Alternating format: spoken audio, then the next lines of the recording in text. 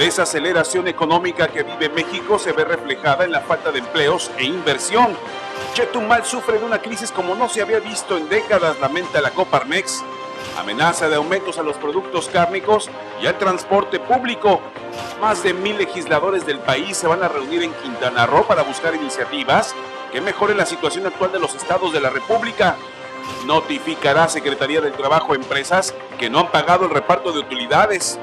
Cuestionan viajes del edil en Mérida, Renan Barrera, que no aportan ningún beneficio a la ciudad. Redes sociales atractivas para grupos de poder, pero también para el crimen organizado. Esto y más en Notivisión.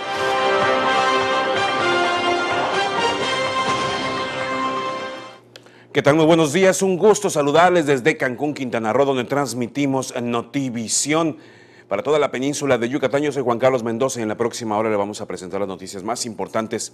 Comenzamos como con el clima. Fíjese que pues alertan sobre una, la posibilidad de lluvias. Vea.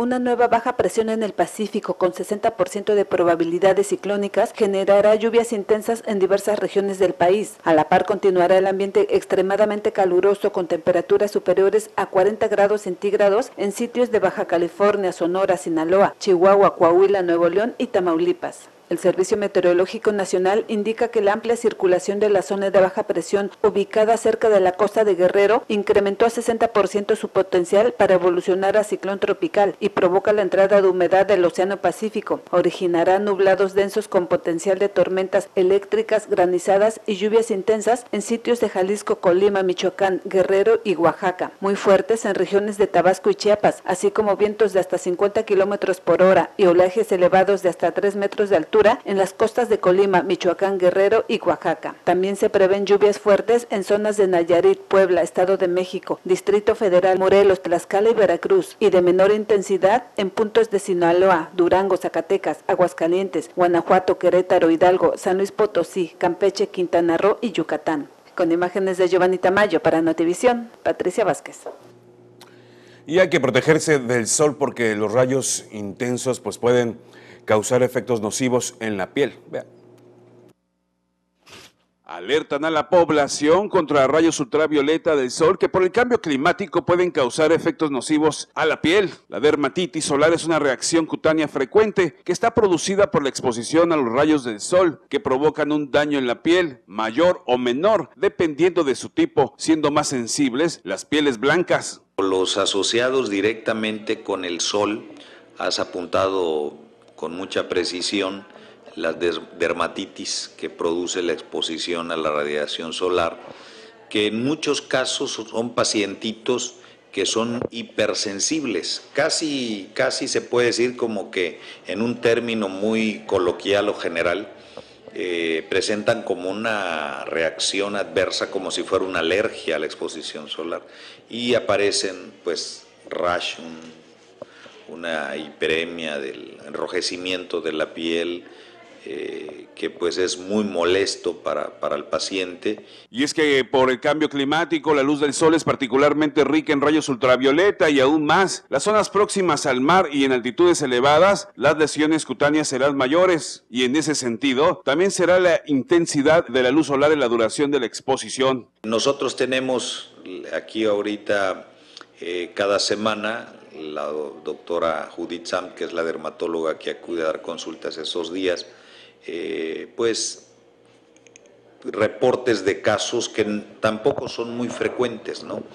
Yo creo que lo que valdría mucho destacar es hacer del conocimiento de, de la población en general que la exposición al sol a largo plazo trae riesgos con imágenes de Javier Valladares, Juan Carlos Mendoza, Notivisión.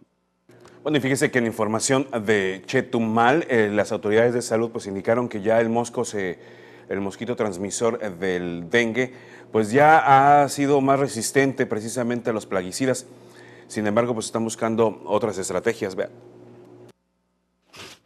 Ante la inmunidad del mosco transmisor del dengue al insecticida que utilizan las autoridades para trabajos de fumigación, la Secretaría de Salud analiza en laboratorios un nuevo fumigante para que se aplique en esta temporada de lluvias, anunció Francisco Lara Uscanga, jefe de la Jurisdicción Sanitaria número uno. Este, se están haciendo pruebas. Tenemos un laboratorio entomológico especializado donde se están probando insecticidas, tienen que ser biodegradables ¿sí? este, y específicos a lo que la norma indica. Eh, se estaba utilizando un insecticida biodegradable que se conocía como aquarreslim, son derivados de, plantas que tienen esa propiedad para, para eh, en contra de, ciertos insectos. ¿no? Las tecnologías eh, limpias eh, nos están llevando a, encontrar eh, insecticidas biodegradables de nueva generación. ¿sí? Este, ahorita estamos probando un insecticida de nombre Icon. Dijo que se espera que para las siguientes semanas el resultado de los análisis del nuevo fumigante e iniciar así con la campaña de fumigación en toda la entidad. Mencionó que mientras tanto se determina el nuevo dispositivo, se lleva a cabo campaña de descacharrización en los 10 municipios de la entidad para el combate del mosco transmisor de la enfermedad. Para Notivisión, Juan Juárez Maus. Eh, fíjese que algunos análisis dan como resultado que las presas, las internas, pues antes de ser recluidas, pues vivieron una vida verdaderamente difícil. Vea. Una investigación del Centro de Investigaciones y Estudios Superiores en Antropología Social, el CIESAS, revela que antes de estar recluidas, las presas enfrentan condiciones sociales adversas. Entre otras situaciones, que sus familiares las desprotegieron, tuvieron empleos informales y mal retribuidos, muchas sufrieron maltratos o violencia o violación sexual y tuvieron escaso o nulo acceso a la educación. En ese sentido, la ONG considera que el sistema penitenciario nacional debería considerar esas diferencias respecto a los varones en prisión, porque en la cárcel la mayoría están más expuestas al abandono. El estudio señala que es obligación del Estado garantizar vida digna a las reclusas. A la fecha, en México hay alrededor de 250 mil internos, de lo que el 5% son mujeres, es decir, unas 12.500. En tanto, una encuesta del Centro de Investigación y Docencia Económicas, el CIDE, en penales, señala que quienes están presos son las personas con mayor deterioro social, es decir, que sufrieron violencia en la familia, trabajaron desde la niñez, abandonaron su hogar o mujeres violentadas sexualmente. Tras de la cámara, Víctor Álvarez. En el micrófono, para Notivisión, Carlos Águila Arreola. Fíjese que la Cámara Nacional de Comercio en Cancún eh, dio eh, información sobre las tiendas esas de conveniencia que se encuentran en algunas gasolineras y el daño o perjuicio en contra de las pequeñas eh, pues, mm, empresas familiares, las tienditas de abarrotes, entre otras. Y bueno, señalan que por cada apertura de este tipo de tiendas, cierran al menos unas 15 eh, empresas pequeñas familiares. Vea. La Canaco en Cancún calculó que por cada tienda de conveniencia que se abre, al menos 15 tiendas de abarrotes resultan afectadas y cierran por la pérdida de las ventas. Según, estudios realizados por la Asociación Nacional de, Tiendas de Abarrotes, los, los Oxos particularmente, que son los, los, mayor número de tiendas de conveniencia que están estableciéndose en toda la República, eh, generan un, un, problema de cierre de, negocios de abarrotes en un promedio de 15 negocios por tienda o por unidad de OXO. Eh, independientemente de los supermercados y, y, otros que generan, que no, que no están tan, tan ubicados en las colonias, ¿no? Eh, la, afectación es verdaderamente grave porque los negocios estos, pues de cada uno de ellos depende una familia. Invitaron a la población a comparar precios, ya que el organismo asegura que los precios de varios productos son mucho más elevados que en las tienditas. Las tiendas de conveniencia son más caras que las tiendas de productos. O sea, ¿por, qué? Porque tienen mayores gastos. y obviamente ellos manejan los precios, todos los de las botanas, de los refrescos, de los productos de primera necesidad que compran son más caros en el otro, salvo algunas cuantas ofertas que ponen como gancho, ¿no? Lo que pasa es que tienen un mayor número de servicios que puedes depositar, que puedes este poner crédito a tu teléfono, etcétera, etcétera, y eso hace pues, que la gente entre ahí una vez adentro y ya comprar otra cosa, ¿no? En la cámara, Germán Espiridión, para Notivisión, Linda Gual. Y mire, la verdad es que da tristeza que Chetumal, siendo un lugar que, en el que por muchos años pues yo rindió muchos frutos económicamente hablando por la zona franca, pues ahora se encuentra deprimido económicamente hablando, cierre de negocios, entre otros, no hay flujo de dinero. Y todo porque cambiaron las cosas, hay muchos quienes, quienes le apuestan al turismo, eh, pero también la zona era comercial, vea. Chetumal, la capital de Quintana Roo, vive una de sus peores crisis económicas desde hace años, lo que ya amerita el cierre de negocios, la intención de empresarios de seguir este efecto a raíz del estancamiento de la economía que no ha generado riqueza y fuentes de trabajo, lamentó el presidente de la Coparmex en la zona sur de Quintana Roo, Diego Delgado Díaz. Ya hay la idea, que ya es lo primero, yo creo, lo preocupante, y ya he visto yo, y creo ustedes también, cierres de muchas empresas pequeñitas, algunas que ya de una cortina ya las bajaron, ¿no? Y la gente ya anda rentando o vendiendo sus, sus locales. Eso es, eso es lo que yo creo que se puede eh, ver inmediatamente en En la zona de Chetumal la economía está estancada, yo creo que estamos en el límite mínimo, no sé si pudiéramos estar peor.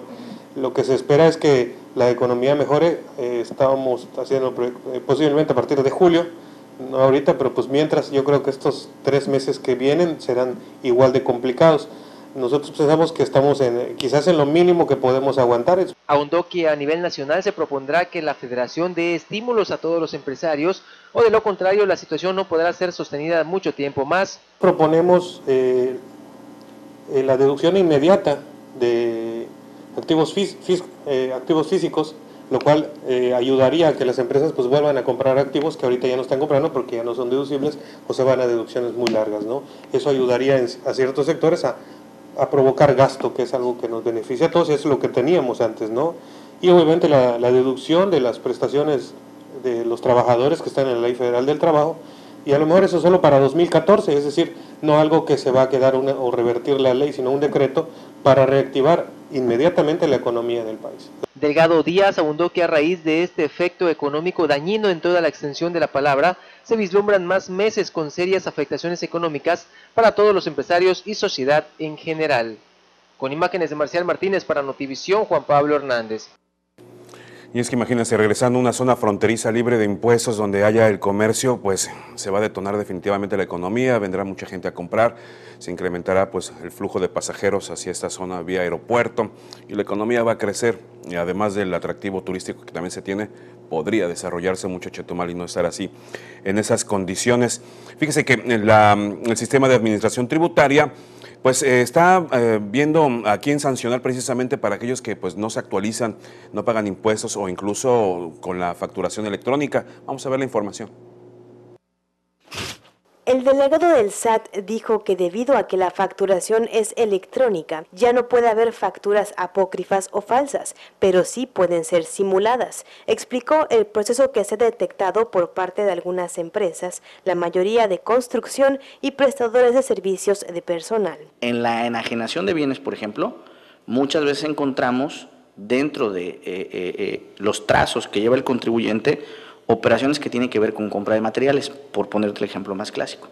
Y de repente cuando vemos cómo le, cómo le pusieron el material allá, porque se trata de, toneladas de materiales, eh, nos damos cuenta que el servicio se lo prestó, y eh, volvemos al mismo ejemplo, un tercero, que es el proveedor.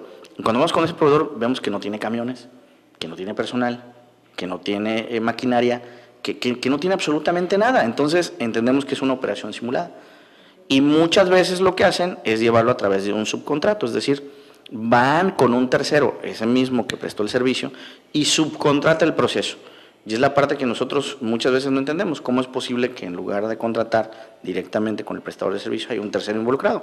Volvemos a suponer volvemos a presumir que hay una operación simulada. Asimismo, se presume que el 1% de las empresas en la zona norte de Quintana Roo simulan operaciones fiscales. Enfatizó en que incluso hay empresas dedicadas a generar esquemas de simulación. Sin embargo, a partir de este 2014 es cada vez más riesgoso para el empresario que contrate este tipo de servicios. En algunos hay estrategias más eh, robustecidas de empresas que se dedican propiamente a vender ese tipo de estructuras o, ese, tipo de, ese tipo de ingenierías fiscales, pero que al final de cuentas el que va a salir más raspado va a ser el, va a ser el empresario que se arriesga a comprar ese tipo de productos, porque hoy en día tenemos las facultades suficientes para desconocer esa deducción y que la carga impositiva se le quede al, al empresario.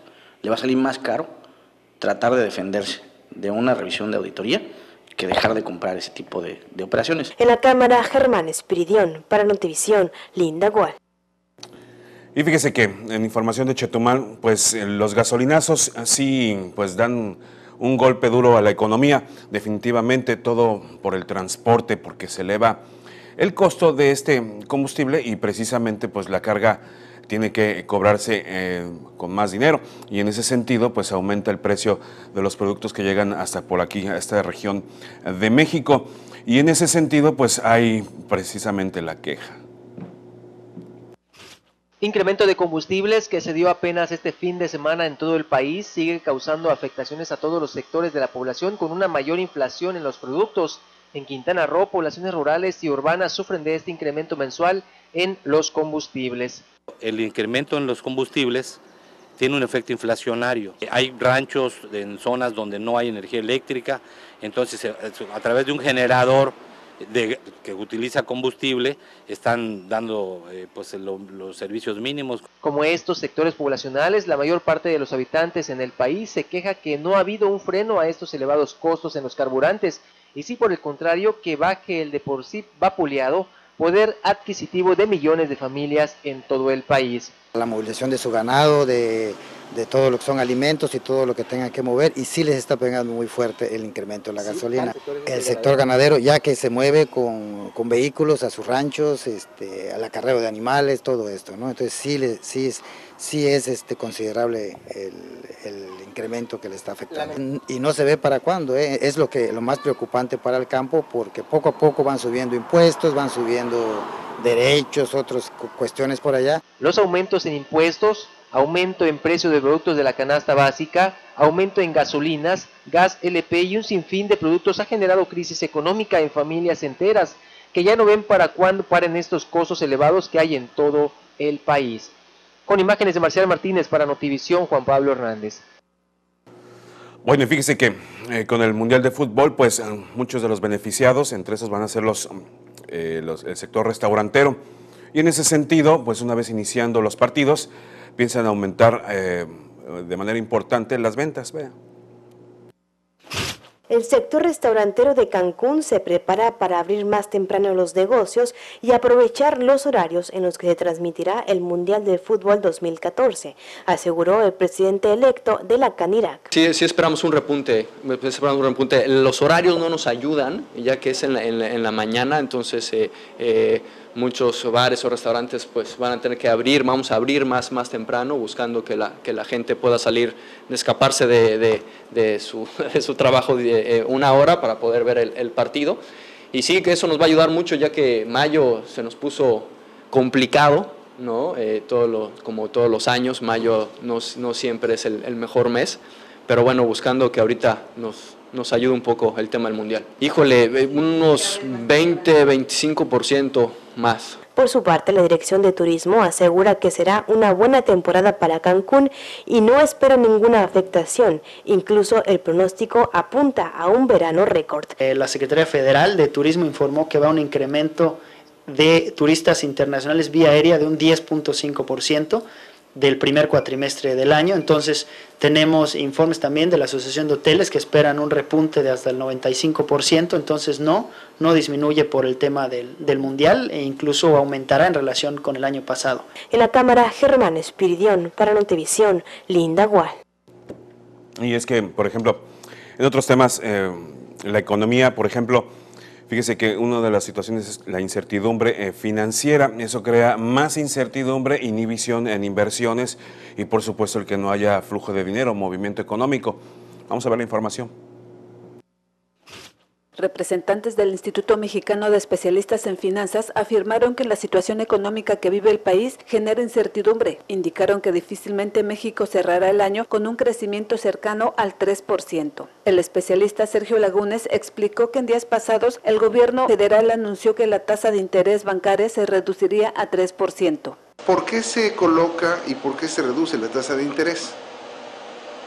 Precisamente cuando el gobierno observa que, la economía está, está representando un incipiente, un escaso crecimiento o incluso una posibilidad de que no exista un crecimiento, pues la medida precisamente habla y evidencia de este tipo de situaciones, que el gobierno sí lo está implementando, luego entonces porque el mismo gobierno en sus valoraciones está viendo que la economía no está creciendo lo suficiente.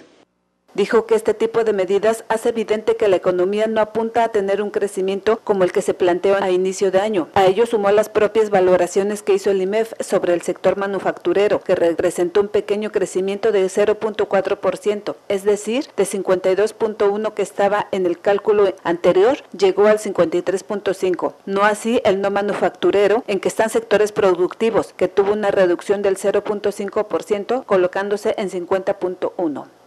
Los indicadores que tiene el IMEF indican incertidumbre, como se lo comentaba, así de, forma puntual. El manufacturero tuvo un incremento, el no manufacturero tuvo una reducción. Y además, si observamos que la política monetaria, uno de los, una de las herramientas que tiene fue colocar la tasa de interés al 3%, quiere decir que la incertidumbre no nada más la comparte un servidor, sino que la, incertidumbre y el riesgo para fortalecer la economía lo está tomando la previsión necesaria el gobierno el gobierno de la República. Sostuvo que algunas voces afirman que las condiciones económicas van a la alza, pero no hay que dejar de lado que la gasolina sigue en incremento. Sostuvo que si un país no crece a un ritmo mínimo de 3% anual, no hay generación de empleo. Con imágenes de Giovanni Tamayo para Notivisión, Patricia Vázquez. Pues así la situación y bueno, las estrategias económicas deben de servir precisamente para la población. Entre la población entre más tranquila esté, mucho mejor va a ser más productiva y va a ser un mejor país. Además de la educación, entre otros factores. Vamos a un corte comercial, no se vaya porque le tengo más noticias en Notivisión. Ya volvemos.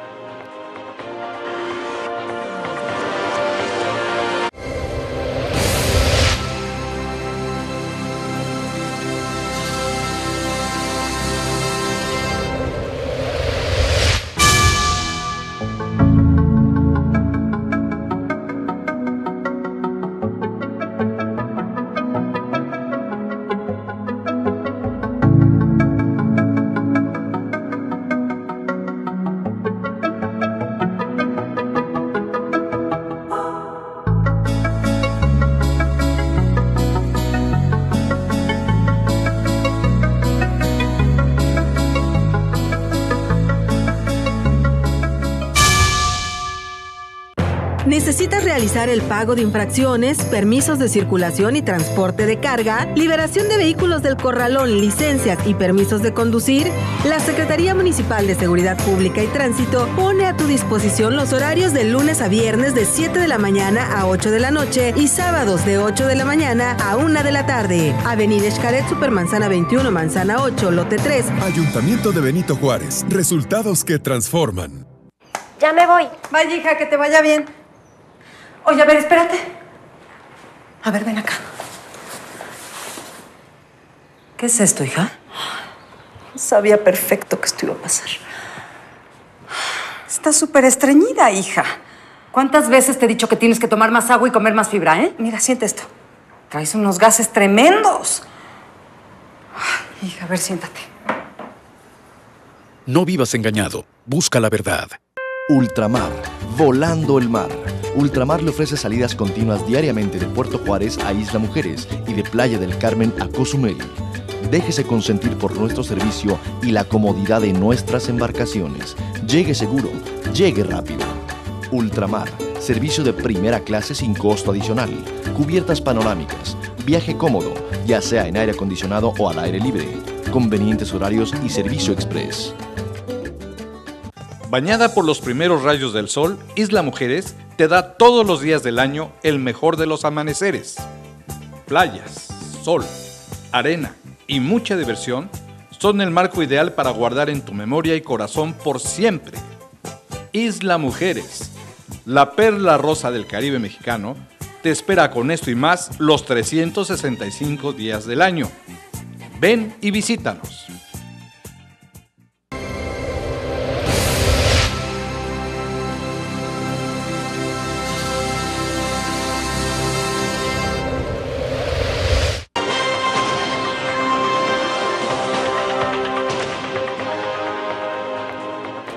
Qué bueno que continúa con nosotros en Notivisión, que se transmite en vivo desde Cancún, Quintana Roo, para toda la península de Yucatán. Y fíjese que allá en Mérida, pues Eh, la CROC hace referencia a la situación económica del país e incluso pues hace señalamientos a la federación. Vea. La Confederación Revolucionaria de Obreros y Campesinos en Yucatán convocará una manifestación si las condiciones económicas no mejoran, pues el presidente Enrique Peña Nieto prometió detener los incrementos de la gasolina en el 2014, pero esto no ha sucedido, manifestó su dirigente Pedro Ste Conrado. Pues ahorita ya el precio de la gasolina ya se niveló con los precios internacionales y a nosotros nos siguen subiendo el precio. Entonces aquí hay una incongruencia, ¿verdad? Que tienen que corregir por las autoridades a que le corresponde manejar este asunto. Vamos a, ver los resultados positivos a futuro, porque si no es así, entonces ya la sociedad pues, pensará y tomará algunas eh, pues, medidas que considere para que sea escuchada. Usted Conrado destacó que esta manifestación podría llevarse a cabo a principios del 2015.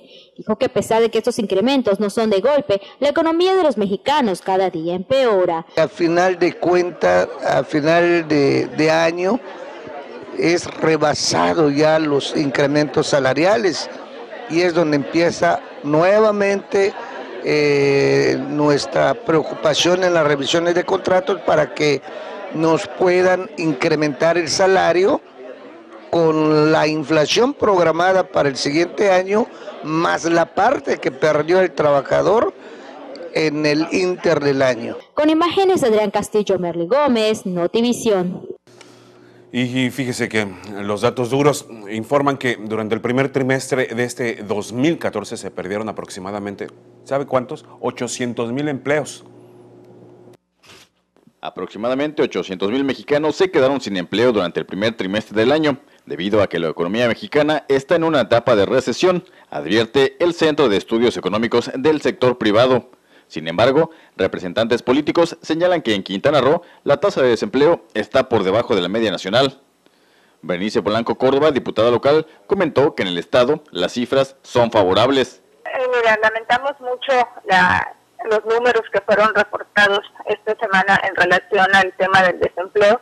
Sin embargo, pues bueno, hay que considerar que en Quintana Roo esta problemática no tiene los niveles que se tienen en otros estados de la República. De hecho, estamos por abajo de la media nacional en materia de desempleo y esto ha sido pues por el trabajo conjunto que se realiza del gobernador y el poder legislativo y pues nosotros como poder legislativo seguiremos trabajando de la mano con el gobernador para efecto de que aquí en Quintana Roo esa tasa siempre esté por debajo de la media nacional y vaya disminuyendo. Por su parte, Humberto Aldana Navarro, vocero estatal de Morena, comentó que habrá que esperar a ver las cifras del segundo trimestre en el estado y comprobar si realmente estamos por debajo de la media nacional pero la realidad que vivimos día con día la gente la, experimenta de una manera cruda. Hay menos empleo, estamos en temporada baja, hay que ver el registro, cuál es el dato que dan acerca del desempleo en, el segundo trimestre que incluye la temporada baja, y entonces sí podremos hacer un juicio, ¿no? Si en temporada alta o en el primer trimestre eh, hubo una pérdida de 800 mil empleos y aparentemente en Quintana Roo no tantos, vamos a ver cómo aparece Quintana Roo en este segundo trimestre, ¿no? Que tampoco ha sido benéfico para nadie y lo sabemos. Con imágenes de Ricardo Vallejo, informó para Notivisión Alejandro García. Bueno, como se, se habla de, una desaceleración económica, le preguntamos a los habitantes de Cancún eh, acerca de que cómo perciben esa situación y dijeron algo muy interesante. Eh, la desaceleración económica se puede observar precisamente en, la, en el desempleo y en la falta de inversión, en la, precisamente en la incertidumbre que se genera con todo esto. Vea. Habitantes señalan que existe desaceleración económica que se ve reflejada en la generación de empleos y al existir empresas que limitan presupuestos y actúan con cautela a la hora de invertir. Y es que 800 mil mexicanos se quedaron sin trabajo durante el primer trimestre del año debido a que la economía está en una etapa de recesión. Esto lo advirtió el Centro de Estudios Económicos del sector privado. Por supuesto que es cierto, o sea, se refleja tanto no solamente en los aspectos económicos, sino se refleja también eh, en el empleo que se le da pues a cualquier persona. técnicamente estamos bajo el régimen de los outsourcings eh, a nivel general Y, bueno, ellos no nos dan este, pues, facilidades como compañías, este, bueno, como para entrar con las compañías directamente, cualquier empresa, en el aspecto de las prestaciones. O sea, técnicamente es un problema a nivel nacional muy grave por ese, por ese detalle. Sí, yo creo que sí, no hay empleos, hay empleos pero muy mal pagados. O sea, no, no, no hay nada bueno, no suben. Bueno, pues, bueno fuera que hubiera buenos empleos pero bien pagados. Una desaceleración económica es la disminución generalizada de la actividad económica de un país o región, medida a través de la disminución en la tasa anual del Producto Interno Bruto Real durante un periodo suficientemente prolongado. Definitivo. ¿Por qué? Porque estamos sintiendo una, una economía bastante limitada a todos los niveles. O sea, usted habla con el empresario y habla con el de muy abajo y estamos igual todos. Claro, si uno se pone a pensar en un empresario con sus gastos de operación apenas si está saliendo, y nosotros los de clase media baja estamos peor. Considero que sí estamos en, una etapa de recesión. Eh, hay muy pocos empleos, creo que se está invirtiendo en otras cosas que no son necesarias y hay que, cuando se puede fomentar eh, ferias de trabajo y todo eso, ¿no? Para, para que se le pueda dar este más empleo a la gente que lo necesita y pues, pues, para que así podamos crecer todos juntos. Con imágenes de Javier Valladares, Juan Carlos Mendoza, Notivisión. Bueno, y posiblemente como estrategia de campaña, porque vienen las elecciones en el 2015, si se podrá bajar el precio del combustible. Y bueno, ahí va a ser un buen hit precisamente para acaparar la atención ciudadana. Eh, y en ese sentido, pues el sector de la aviación piensa que con la reducción de hasta, o la posibilidad de la reducción de los combustibles de hasta un 30%, pues esto pueda dar como resultado el que pues haya un mejor flujo de pasajeros y mejore la economía. Vea. El sector de la aviación comercial se verá beneficiado con la reducción de hasta 30% en el precio del combustible, insumo que a la fecha le representa el 40% del costo total, opinó Eduardo Paniagua, presidente de la Comisión de Hacienda de la MAP. Uno de los, de los proyectos de la, esta reforma energética es que de alguna forma se tiene que hacer más económico la, la gasolina, en este caso la turbocina, que es lo que usan los, los aviones eh, que están hoy por hoy en el aire. Y obviamente, este, pues ahí sería el primer beneficio, ¿no? La disminución del costo de la turbocina para poder operar con, con mayor efectividad y menores costos. En su opinión, el beneficio permearía hasta los usuarios, pues actualmente las tarifas aéreas que México maneja son 30% más caras que las de otros países. Debería de ser así, eh, obviamente eso va a depender mucho de cada aerolínea, eh, si quiere utilizarlo esto como una ventaja competitiva y disminuir los costos, pero obviamente ya eso es una decisión eh, empresarial en la cual cada aerolínea tendrá que decidir si el costo o la disminución que pueda tener en base a esta reforma energética y el, menor costo de la turbocina también lo pueda afectar de manera directa a sus consumidores. Anticipó que los beneficios se reflejarían hasta el próximo año. Con imágenes de Giovanni Tamayo para Notivisión, Patricia Vázquez. Bueno, y fíjese que por otro lado los hoteles del centro en Cancún pues eh, van a realizar una serie de promociones locales, van a empezar por las poblaciones cercanas hasta irse alrededor en la península, precisamente eh, para promover pues que la gente eh, vacacione o también vaya como negocio, vea. En esta semana dará inicio la caravana de promoción de los hoteles del centro de Cancún que estará pasando por Chetumal, Campeche y Mérida, donde los esfuerzos se enfocarán en las empresas y a los hombres de negocios.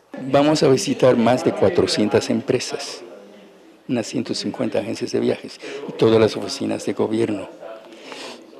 Estamos enfocando los esfuerzos a las empresas porque las empresas representan el 80% de los ingresos anuales de los hoteles del centro. Es diferente a la zona de playas, allá es vacaciones, tour and travel, leisure, aquí es hombres de negocios. Estiman que cada hotel que participe en esta promoción podría incrementar su ocupación hasta en un 15% para el próximo verano. Las personas que participan en estos pueden aumentar de 12 a 15% su ocupación. Los que no, pues como el chinito, van a estar milando, porque Ahora ya no llega solo el negocio, hay que buscarlo. Se calcula que en esta promoción participarán al menos 14 hoteles con más de 3.000 habitaciones. En la Cámara, Germán Espiridión, para Notivisión, Linda Gual. Bueno, y fíjese que allá en Cozumel prevén que nuevamente se incremente el precio de la carne. Vamos a la información. Se espera que continúe el incremento en el precio de carne de res y puerco, así lo informó el líder de tablajeros en la isla, Luis Gómez. Esto es derivado del incremento de la gasolina y a la escasez de producto que proviene del estado de Yucatán. La res es muy revendido, por lo que se prefiere vender al mejor postor, aunado a la baja producción del animal. Lo que es el cerdo, la afectación es debido al problema que surgió en otros estados donde se detectó el virus porcino, lo que generó una disminución del animal y una alza en el precio. Lo que está pasando en la actualidad es que hay mucha, este, hay mucha escasez de producto, ¿no? especialmente la res. Casualmente uno de los proveedores que, este, que hoy tuve una junta con él, él me platicó que a lo mejor se vaya más en aumento, pero eso no es nada en concreto, ¿no? Con tiempo se les va a dar la información para que ustedes en, su momento, bueno, pues se lo, se lo, informen también a la comunidad consumeleña que día a día, bueno, pues nos visiten nuestras carnicerías. Lo que está pasando con la res es que ahorita ah, hay muchas personas que están llegando a comprar en el estado de Yucatán, principalmente en el municipio de Tizimín la res, este, y hay gente que trae la res aquí en Cozumel, bueno, pues que tiene convenio con ellos y le siguen respetando el precio pero viendo la necesidad que hay ahorita, hay otras personas que llegan de otros, de, otros municipios, de otros estados, a comprar res en más cara, ¿no? Y entonces se le da preferencia a esas personas. Y eso está haciendo, y con la escasez que hay ahorita de res grandísimo en el estado de Yucatán, que se están dedicando mayormente a estar vendiendo la res y no hay producción, ¿no? Nosotros, este, eso es lo que mayormente está pasando con la res. Lo que tiene un poco de demanda ahorita es la carne de puerco, eso es la carne de puerco y de pollo, pero la res es muy poquita la gente que lo compra por lo mismo, porque está muy caro. Pues si no, el, el precio del puerco no creo que tarde mucho, ya lo empezamos a, a notar con nuestros con esos distribuidores de puerco aquí en la isla. El puerco estaba a 32, 33 pesos el kilo, ahorita ya llegó a 36 pesos el kilo, entonces todo eso de los 33 hasta los 3 pesos por kilo, sí este, es algo que nosotros estamos absorbiendo, no son casi 300 pesos de diferencia. Entonces todo eso nosotros estamos absorbiendo y es algo que va mermando poco a poco nuestras utilidades aquí en el, en el municipio de Cozumel, aquí en nuestras carnicerías. Entonces también debe haber un aumento, pero es que también quiero hacer hincapié en algo muy importante, que todo esto se deriva a que cada mes la gasolina va subiendo, ¿no? Eso nos perjudica totalmente a todos. Hasta para tener un carro en la actualidad tienes que pensarlo por lo, por lo, de la, por lo exceso de gasolina que consume, ¿no? Entonces todo eso nos viene trayendo todas esas alzas que nosotros tenemos aquí en el municipio, especialmente hablando con la Unión de Abastecedores. Con imágenes de William Ewan informó para Canal 10 Yanire U. Bien, fíjese que allá en Playa del Carmen anunciaron que podrían aumentar el pasaje, pero ¿sabe de en cuánto? Entre un 30 y un 50%, vean aumentarían las tarifas de los taxis a finales de este mes o en la primera quincena de julio, a lo mejor en un 30 o 32% o al 50%, como lo está solicitando el sindicato Lázaro Cárdenas del Río, amparados en los constantes gasolinazos e incrementos en los insumos y partes automotrices de las unidades, informa el secretario general Jacinto Aguilar Silvarán. En eso estamos, ya prácticamente estamos a un 80% en la revisión eh, de las tarifas, falta un 20% en estos días ya debemos de terminar. Yo creo que para fin de mes o mediados del próximo mes ya estaríamos eh, este, teniendo aprobadas las nuevas tarifas. ¿Y cuánto? Eh, todavía, todavía. Eso lo, lo determina Sintra del Estado. Sí, pero ¿cuánto es la solicitud que ustedes hicieron? ¿Cuánto? 50% estamos solicitando. Eh, normalmente se ha aprobado un 30-32%. Pero aclaró que el aumento en las tarifas de los taxis de solidaridad las otorga Sintra Estatal y dijo que desde hace tres años no han sufrido ningún incremento en los costos actuales, pese al aumento constante de todos los insumos. Adelantó que se trabaja en un turno nocturno para los operadores de las combis colectivas a las colonias más alejadas del municipio y a donde no existe transporte después de la medianoche, en que trabajadores hoteleros salen de sus centros de labores. Es en el caso de algunos eh, ¿no? ¿no? No quiere decir en toda la ciudad. Eh, esto se está haciendo porque algunos eh, eh, usuarios de los hoteles salen a medianoche o pasados de la medianoche y en ciertos lugares no hay taxi. Entonces aquí es prácticamente el tipo colectivo que se va a hacer. vamos a empezar tentativamente ahí con tres, de tres a cinco vehículos ¿no? para, para probar, porque tampoco es algo que se vaya a hacer ya de lleno, pero sí la idea es mantenerla no, no se le va a perjudicar al taxista porque en realidad ellos normalmente están en los sitios, lo que es quinta y 10, ¿no? Entonces esta gente, por decir en la 115, no pasa el taxi, bueno, tomarían ahí el, las colectivas que serían en este. Estas rutas nocturnas iniciarán con dar servicio a Villas del Sol y Cristo Rey, además de todo el sector del arco vial. Aguilar Silvarán reconoció que muchos taxistas se han visto involucrados en hechos violentos con la delincuencia organizada, pero precisó que muchas de las veces los implican sin tener ellos la culpa y agregó que mil de los cuatro mil operadores tomarán cursos sobre relaciones humanas. Con imágenes de J. de la Rosa para Notivisión, Lourdes Mata. Bueno, fíjese que también están analizando lo que son las leyes secundarias en relación a la reforma energética y otras. Vamos a ver la información. Las Comisiones Unidas de Energía y Estudios Legislativos, primera, iniciarán el martes el análisis y la aprobación del primer paquete de reformas a leyes secundarias en materia energética. El debate comenzará con la discusión del proyecto de dictamen que expide la ley de hidrocarburos, donde se prevén cambios profundos respecto a la iniciativa presidencial. Se espera que exista un ambiente de propuestas y análisis serio en el debate. El viernes pasado se entregó el proyecto de dictamen de cuatro de las 17 leyes secundarias. Además de los cambios importantes que se incluyen en el proyecto de dictamen, se prevé la aprobación en los tiempos establecidos por ambas comisiones que tienen contemplado el debate del 10 al 23 de junio y después turnarlo al Pleno del Senado.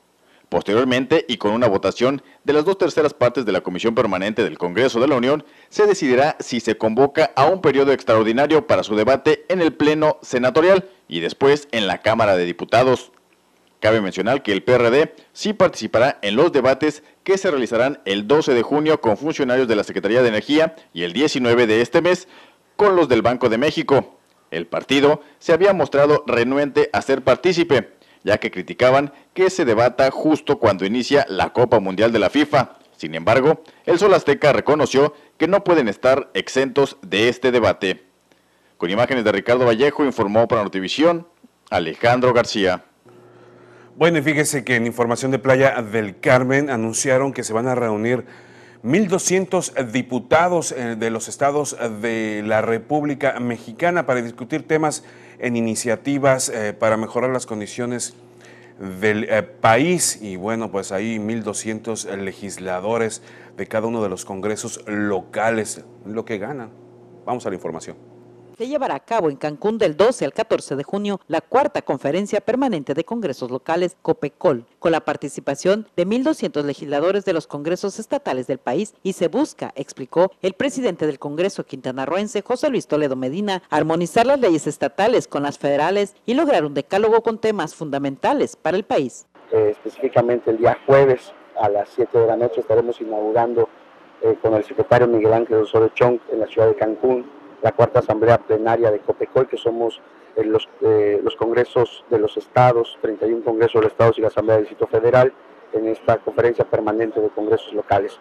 Eh, se tratarán temas importantes, no solo en poder vislumbrar en un futuro inmediato lo que estamos construyendo a través del fortalecimiento de las reformas estructurales del Estado, sino también en los temas político-electorales, en los temas de transparencia y rendición de cuentas, en los temas eh, fundamentales que hoy estamos construyendo de los tratados internacionales.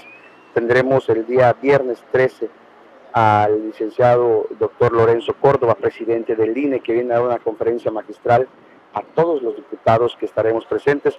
estamos ya en el cierre, estaremos calculando entre 750 y 800 diputados locales de todo el país. Los temas que se abordarán será el político electoral, los derechos humanos, la armonización en materia de transparencia y acceso a la información pública, regímenes de coordinación fiscal y reconversión tributaria y justicia penal. Y el secretario de Gobernación, Miguel Ángel Osorio Chong, expondrá en una conferencia sobre las reformas estructurales en México, con imágenes de J. de la Rosa para Notivisión, Lourdes Mata.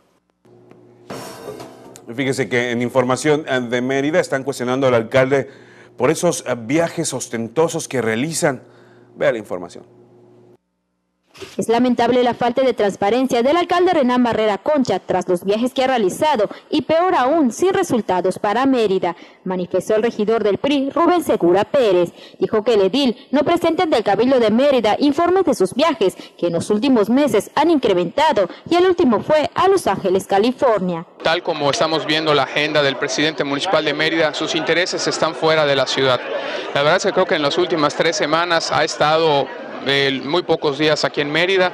Creo que Mérida es una ciudad que va creciendo aceleradamente y que pues evidentemente las necesidades que tienen que atenderse a la ciudadanía son muchas. La verdad es que nosotros estamos pues muy, muy conscientes de esta situación y estaremos exigiendo los informes de, este viaje porque pues al parecer eh, estos viajes no se informan al Cabildo. Segura Pérez indicó que hasta el momento no han recibido el informe del viaje que realizó el alcalde, su esposa Diana Castillo Laviada y una comitiva de funcionarios a España. Los informes que hemos solicitado de los viajes de las comitivas que se han, que se han hecho tanto a Italia como a España no se nos han entregado y pues evidentemente los resultados de estos viajes no los tenemos a la vista. Tal pareciera que está buscando otras situaciones, está buscando otras, otras circunstancias que no sea el beneficio de la ciudadanía y es lo que nosotros estaremos muy pendientes y no moveremos un dedo de este renglón para poder solicitar los informes correspondientes. Con imágenes de Adrián Castillo, Merly Gómez, Notivisión.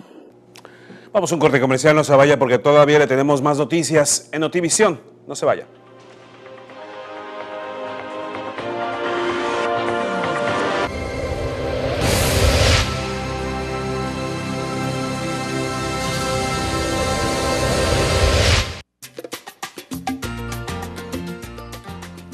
Tres días y dos noches en el hotel más amigable de Cozumel. Hotel Cozumel and Resort Paquete tradicional peninsular todo incluido. Disfruta de la alberca más grande de la isla con nuestras actividades todo el día. Tenemos deportes acuáticos no motorizados, club de niños, todo por 1.699 pesos por persona. Incluye dos menores de 11 años gratis.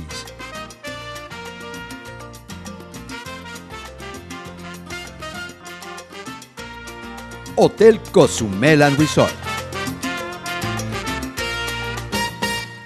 No solo imprimimos noticias, imprimimos información confiable, relevante y 100% imparcial, nunca en un tono amarillista. Un medio especializado en el sector turismo y de negocios.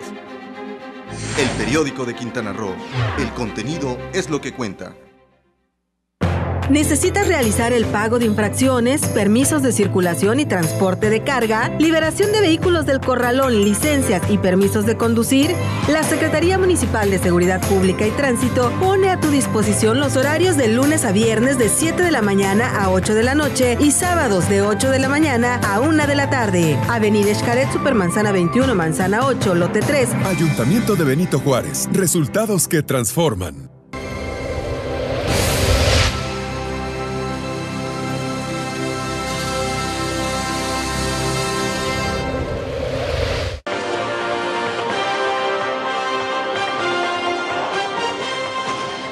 Qué bueno que continúa con nosotros en Notivisión que se transmite en vivo desde Cancún, Quintana Roo. Fíjese que muchos se quejan de que pues, no han pagado el reparto de utilidades y las habrán tenido o no debido a que el reparto de utilidades es una prestación que tienen los trabajadores y son cientos los empleados de diferentes empresas que no lo han recibido, Enrique Herrera Díaz, cuarto regidor del Cabildo de Tulum, exhortó a la clase laboral que una vez vencido el plazo y no hayan recibido este beneficio, acudan a la Procuraduría Federal de la Defensa del Trabajo para la asesoría legal, conciliación y o en su caso representación ante la Junta Federal de Conciliación y Arbitraje. Están en todo su derecho de exigir, de pedir, porque es, es, una que se da por ley y, si las empresas no han cumplido en tiempo y forma, pueden recurrir a la Junta de Conciliación y Arbitraje para que reciban su sanción y hacer que se les entregue las utilidades a los trabajadores. De hecho, el Hotel Dreams cumplió en tiempo y forma el reparto de utilidades.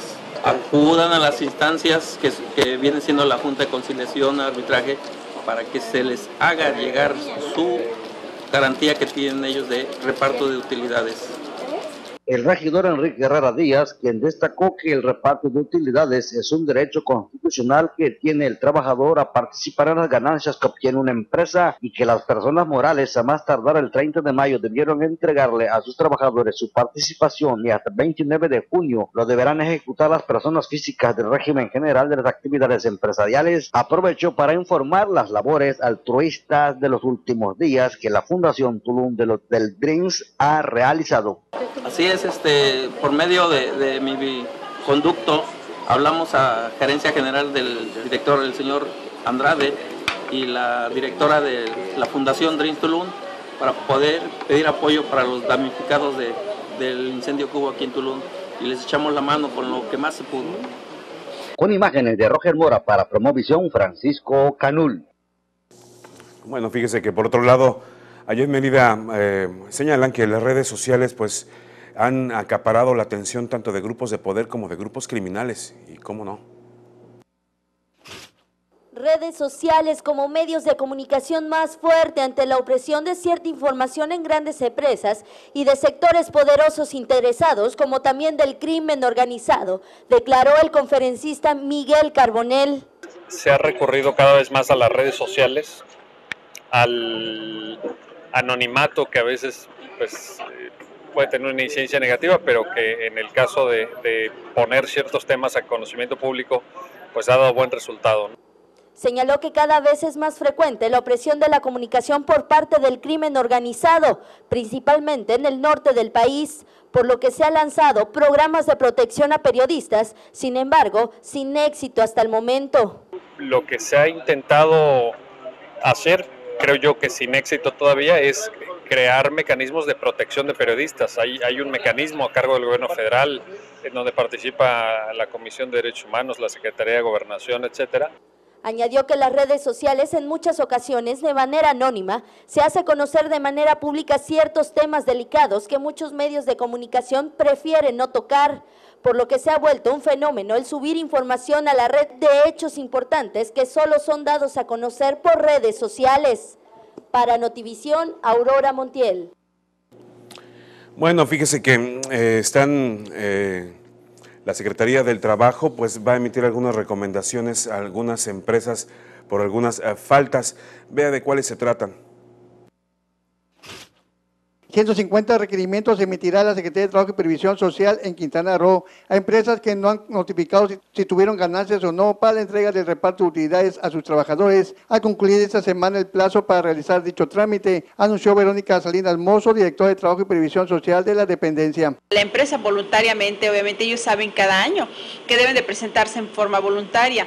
Si no lo hacen, vamos en ese lapso, todavía ellos tienen se van a emitir los requerimientos de, derivado al padrón que tenemos ya anualmente para vigilar este pago de reparto de utilidades. Ya emitimos alrededor de 200, eh, se están, ya se notificó alrededor casi de 150 requerimientos. Se les vence la próxima semana para presentar documentación. Señaló que hasta la fecha tienen ocho quejas de empresas que no han dado el respaldo de utilidades a sus trabajadores. Es debido a esto que iniciarán la supervisión de las empresas para que conocer el motivo de dicha omisión con la presentación de sus estados financieros emitidos ante el SAT. Recordó que la oficina emitió más de 800 notificaciones en meses pasados para que las personas morales cumplieran con esta obligación laboral si las empresas obtuvieron ganancias el año pasado.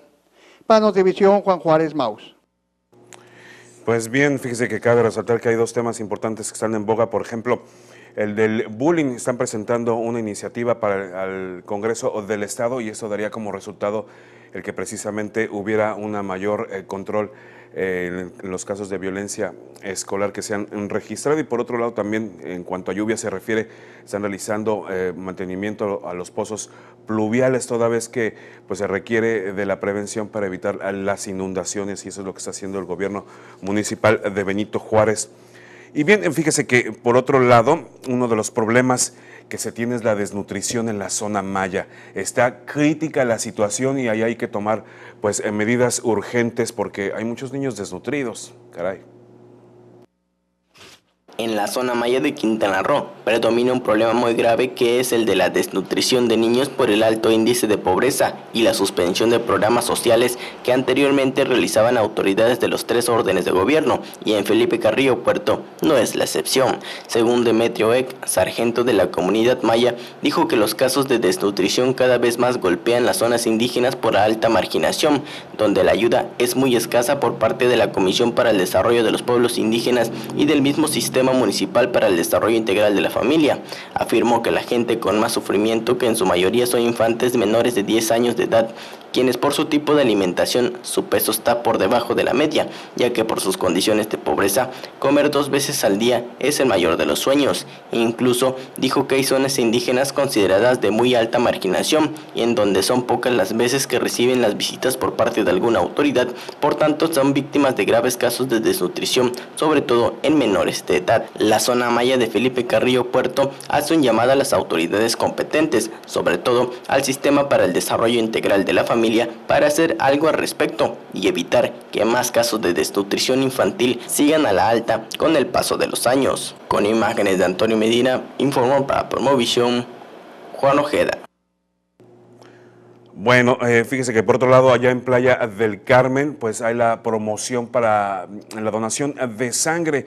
De hecho, hay una iniciativa de ley que entrará en vigor ese 16 de junio. Vamos a ver de qué se trata invite al Congreso del Estado a donar sangre, luego de que existe una ley en la entidad en torno a este tema y que entrará debidamente en funciones a partir del 16 de junio. Este lunes, el presidente del Congreso de la 14 legislatura estatal, José Luis Toledo Medina, colocó los letreros en los medallones de los taxis del sindicato Lázaro Cárdenas del Río. Estos días previos a la entrada en vigor de la nueva ley sobre la donación de sangre, que es una propuesta de la diputada Arlette Molgora Glover, presidenta de la Comisión de Salud del Congreso quintanarroense, tiene como objetivo difundir la cultura del donante que salvaría vidas. Toledo Medina estuvo acompañado del secretario general del Sindicato de Taxistas, Jacinto Aguilar Silvarán, directivos sindicales y choferes de las unidades que colocaron sus vehículos para difundir la ley quintanarroense de la donación de sangre, que invita, pero no obliga a la comunidad a donar sangre, y es una ley reformista, pública y controlada. Con imágenes de J. de la Rosa para Notivisión, Lourdes Mata.